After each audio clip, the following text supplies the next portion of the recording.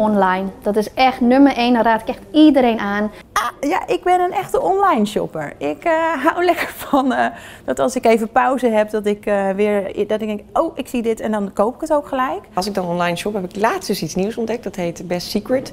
En daar shop je echt met enorm hoge kortingen, 20 tot 80 procent geloof ik. Heel veel merken. Ik ben niet echt heel erg merkfreak, maar dit soort merken vind ik toch wel heel erg leuk. Ik moet ook zeggen, via Instagram zie ik ook heel veel leuke merken voorbij komen voor, uh, voor de meiden. Dat het dan eigenlijk niet mooi is of niet leuk is en dat mijn man dan later zegt, maar dit zou je toch terugbrengen? En dan denk ik, ja, het was net weer over de tijd, sorry. Ik heb heel veel geluk met een superleuke buurvrouw die hele leuke kleren heeft. Uh, vooral voor mijn zoon nu op dit moment. Maar ik koop ook gewoon basics uh, voor de meiden bij de Zeeman en bij de Vibra. ik vind het niet nodig om hele dure sokken bijvoorbeeld aan te schaffen. Want binnen de weken zit er vaak al een gat in of is er al iets mee gebeurd. Ik probeer in de sale vooral dingen te kopen voor het seizoen daarna. Of misschien wel het jaar daarna. Dus als ik een leuke winterjas zie dat ik denk, ja hij is nog anderhalve maand of twee maanden te groot. Dan koop ik hem toch, want dan weet ik dat hij in volgend jaar aankomt.